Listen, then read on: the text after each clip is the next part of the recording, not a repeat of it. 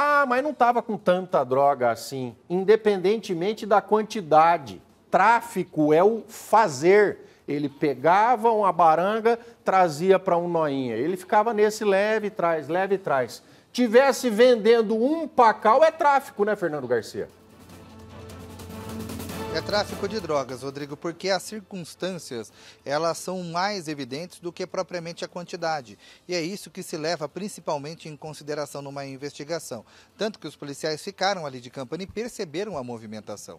Ele não era o usuário, aquela pessoa que ele compra e sai e vai embora, né? Que é uma pessoa doente, que precisa de tratamento. Ele é aquela pessoa que realmente estava traficando drogas. Ele tem 37 anos, isso aconteceu num ponto ali do Santa Antonieta, onde vários flagrantes já foram feitos bem ali naquele local.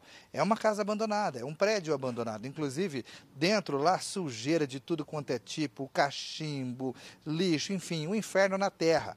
Com esse rapaz, a polícia o surpreendeu. Ele tinha, não com ele ali, mas na casa onde ele frequentava. Ele entrava e saía no meio de escombros. A polícia localizou 13 porções de maconha e dois pinos de cocaína. Foi dada a voz de prisão, ele foi preso e indiciado por tráfico de drogas.